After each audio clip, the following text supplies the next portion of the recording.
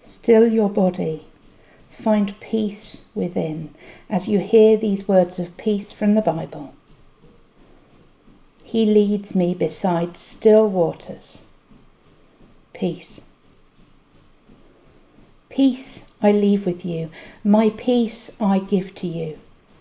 Let not your hearts be troubled, neither let them be afraid. Peace.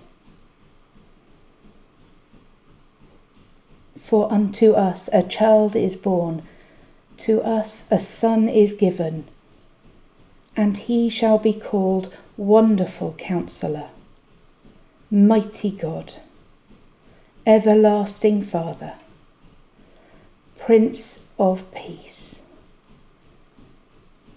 Peace. May you feel peace.